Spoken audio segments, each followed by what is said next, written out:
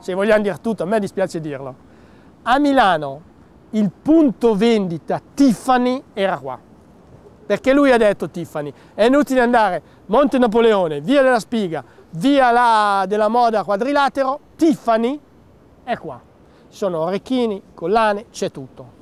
Purtroppo, allora, Tiffany, la gioielleria più in York, del mondo, la sede europea centrale, che ha diciamo oggetti esclusivi, che non fa pubblicità nessun periodico, è tutto nascosto, non lo sa nessuno.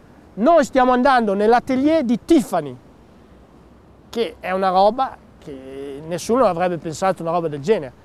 Josh Clooney, il girocollo più esclusivo che ha regalato la Canalis ieri, è venuto qua da Tiffany, a Milano, sulla sponda del Lambro, perché ormai siamo a questo punto.